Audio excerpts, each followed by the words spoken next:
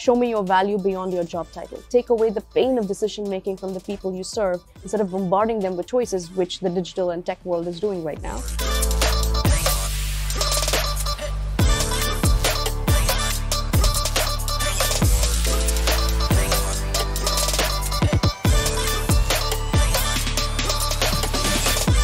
Sangbreeta, thanks so much for, uh, for being here.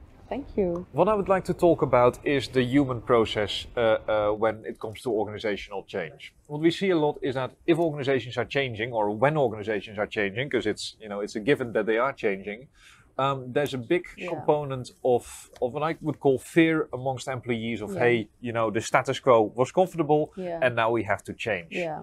How can an organization, how can individual employees deal with that fear to change? Yeah. Well, I think that's a really relevant question right now because every organization that I meet is going through massive change and transformation.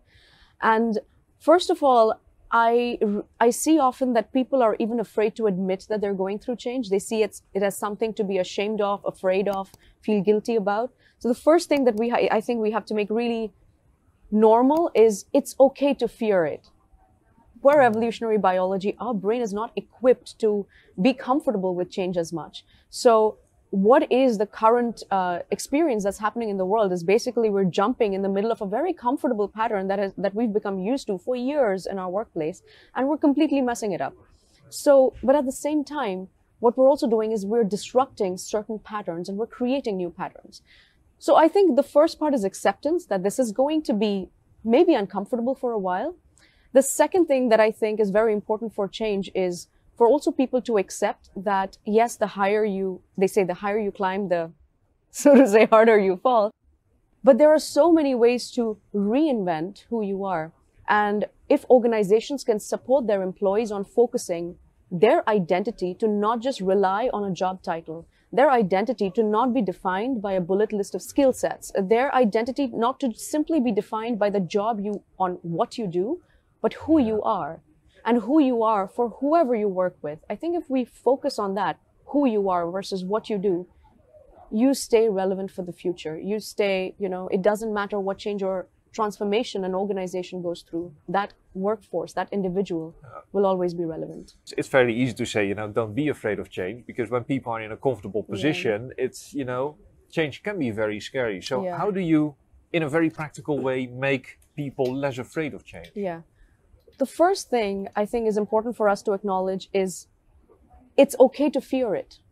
First of all, we have to acknowledge the pink elephant in- the room because you're thinking about the what ifs.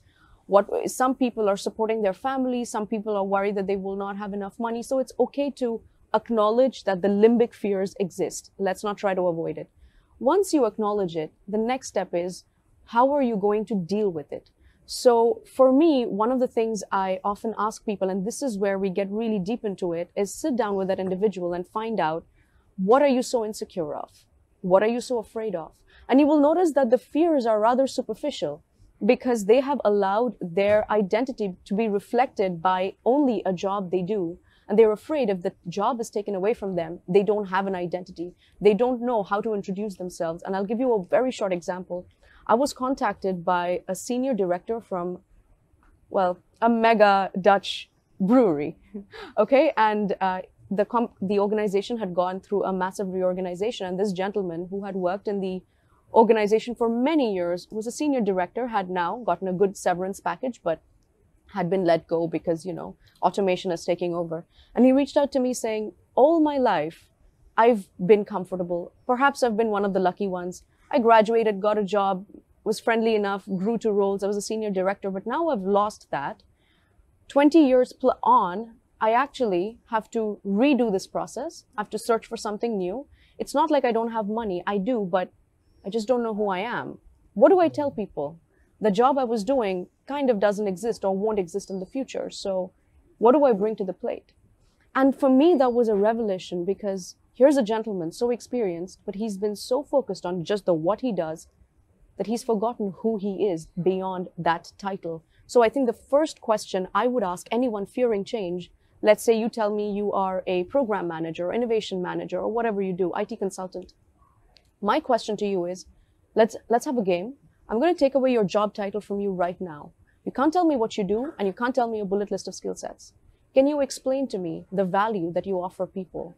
Can you explain to me how, by who you are and what you've learned and what you've analyzed, how you serve the people you work with, whether it's your employee, whether it's your leader or your consumer? I think that's my first question. How do you go from that to trying to reinvent the new skills that people need? I have a acquaintance slash friend who works uh, in communications in, an, in a university. Now she's very good in her job. She's great at communications manager, whatever they have to do, internal, external communications.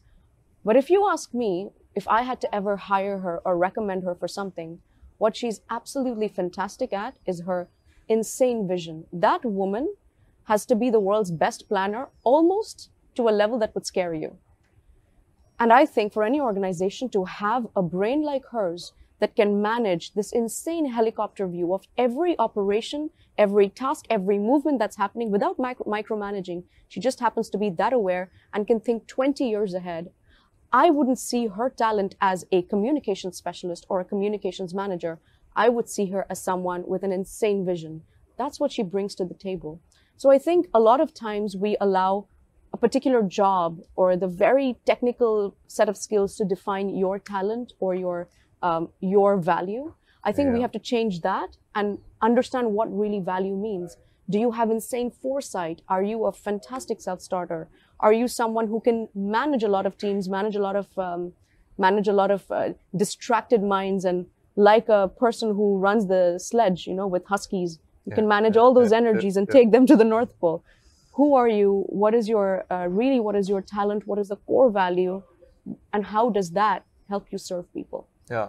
So I, I like to shift the attention from the title to the talent. Yeah, and so from Yeah. those core skills and from those the, the, the layer Yeah. below the skills in a sense, Yeah. you come up to you know what is your core value, what is your contribution that you can make, Yeah. and then from that you're building it back up and seeing hey what are the opportunities that I can bring value in and what are then Yeah. potential jobs that then I can work in, Yeah. in if I understand Not just work uh, jobs or work, but also show people why you're relevant. Yeah. You know, um, Yeah, because I think that, that that's a yeah. difficulty, like uh, sh- showing people that you're relevant, especially Yeah. when you come out of a job and you, you were an accountant at a bank Yeah. and you know, poof, your job is gone. Gone.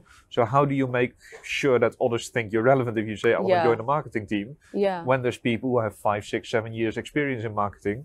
You know, how do you compete with that? How do you how do you show that relevance? I'm curious. Yeah, how I show that relevance. I gave a talk at a marketing conference right after this gentleman approached me. And he is the is a founder of a product, and this is something that really is uh, valuable for large organizations. I can't say more. It's about human um, it's about human behavior basically, but it's a fantastic product.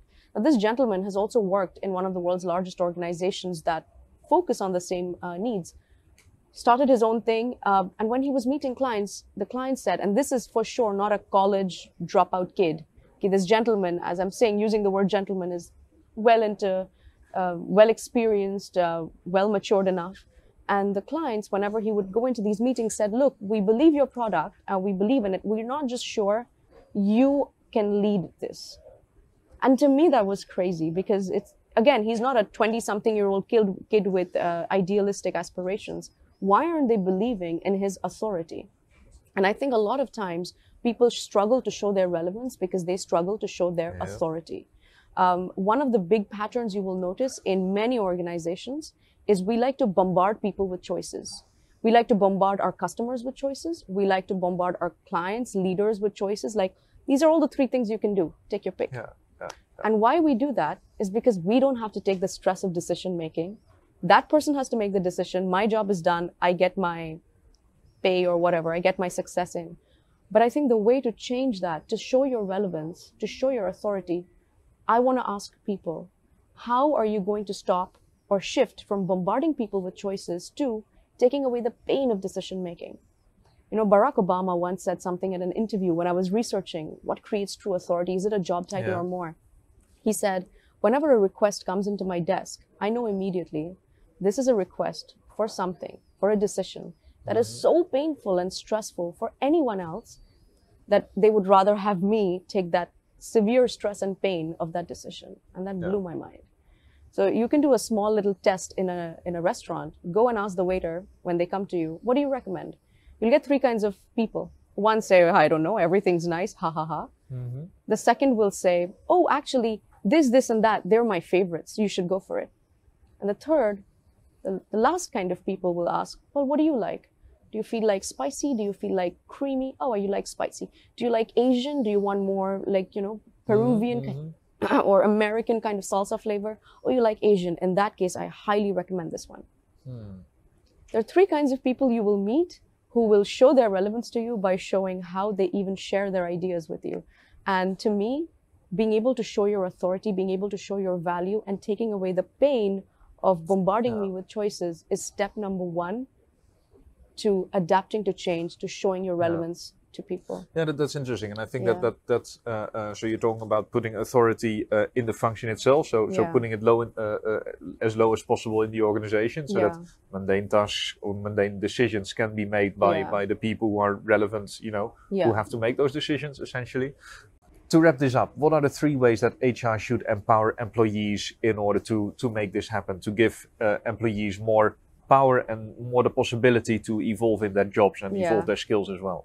I think to make sure that every employee is really living their best in their work, being brand ambassadors for the organization, but also being relevant for the future, three simple skills or three simple elements authority, show me your value beyond your job title, take away the pain of decision making from the people you serve instead of bombarding them with choices, which the digital and tech world is doing right now. Hmm. Number two is authenticity. How do you want them to feel when they work with you? What is that one feeling that is synonymous with you in whatever job you do, regardless of everybody else who's doing the exact same thing as you or wants the same thing as you? Because in the what we do, we are not unique. Everyone in the world is doing something similar. And the third would be adaptability. How are you adaptable in your core values, your mindset, your performance, and your mental well being? Earlier in the talk today, they mentioned that the brain is such a small it apparently 3% of our body is the brain but it uses a quarter of our energy we take this tiny complex organ bring it to work in a closed space and then we bombard it with information how are you taking care of your mental resilience as well i think authority authenticity adaptability deep dive into them and i feel it will transform human potential for now and the future It's up to HR to uh, enable that in employees. thank, Thank you. you.